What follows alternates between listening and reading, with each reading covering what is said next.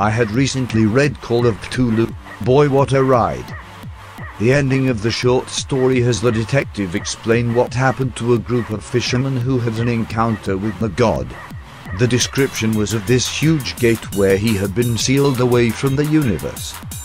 It felt really vivid when I read it and so I painted my take on the gate. It is defiantly one of my favorite paintings to date. I have been trying to paint with big brushes more to stop me worrying about details so much to get the real basics right and I really like the work I did here. The windows aren't that great but TBH I still like the composition, very dark. I tried to paint a face that makes that conveys the feeling I have when I watch a David Dobrik vlog. I think I got the craziness right but I think I need to work on light values to add some real to the surreal.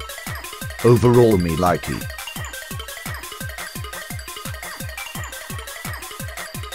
This is another version of Madness is Face and I think this is overall worse, but we move.